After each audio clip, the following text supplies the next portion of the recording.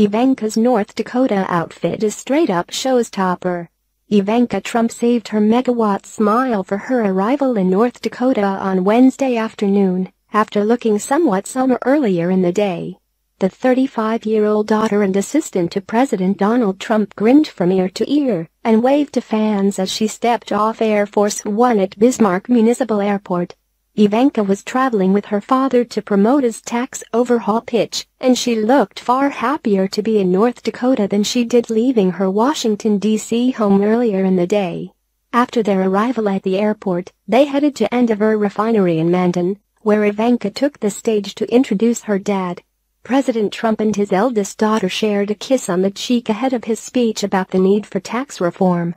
Trump stood on stage with North Dakota's elected leaders while making a push for cutting taxes. Ivanka looked radiant during the speech, and she may have been saving her energy while traveling earlier in the day.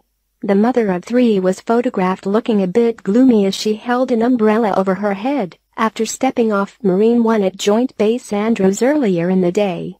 The first daughter wore a top and white pin-striped pencil skirt with a cream-colored top. She was there with President Donald Trump ahead of his speech regarding tax reform at the Andeavor refinery. She completed the great look with her hair down and a brown belt around the waist.